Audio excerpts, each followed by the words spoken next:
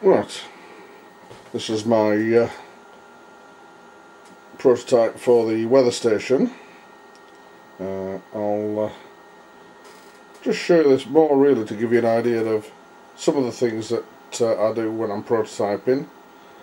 The uh, main circuit board is um, on a breadboard uh, and what we've got, we've got a little 28 pin PICAXE in the middle just below the PICAXE we've got a little memory chip. And then to run the whole system over to the side we've got a, a little RTC um, 1305 which is uh, running the real-time clock uh, the white LED flashing the seconds off then going in a little bit further you can see the um, right in the middle of the shot is the little Dallas temperature gauge. That's uh, giving us the digital temperature back. A bit further over just behind that wire right in the centre of the shot now we've got the LDR giving us the light level. And then this section over here uh, is giving us the air pressure using a little Motorola MPX 4100A and then we've got ourselves a little voltage rectifier at this end to give us um, 5 volts and then over here we've got one giving us 3.5 volts waiting for the radio station to go and sit in that empty space there. We've also got a little separate PICAXE down the end which is doing nothing more than running the rain counter. Uh, what that's going to do is keep track of the uh, flip-flop system or, or um, seesaw system. Uh, we'll give that a little test. Just trying to do three things at once. Fill that up. And you'll see that uh, as the pretend rain comes down.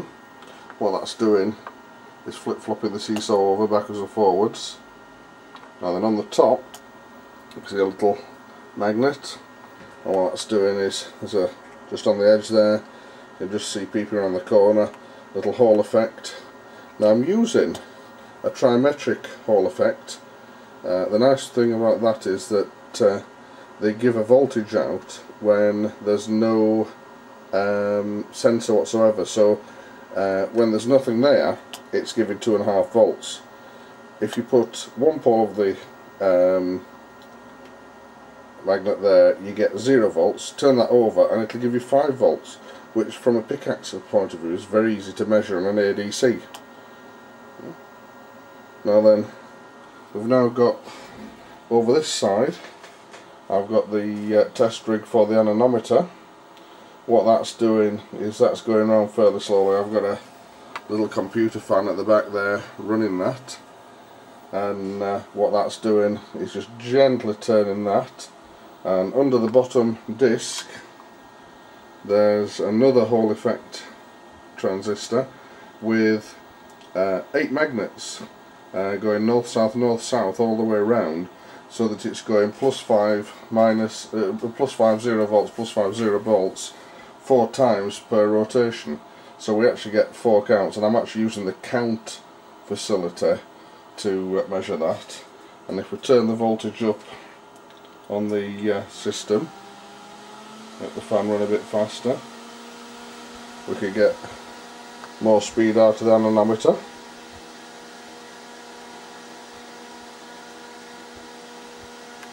And then all of this is being sent via RS232 to the computer software.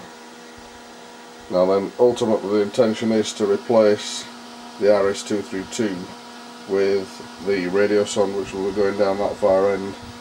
But at this stage we're still waiting for that to arrive so that we can work on it.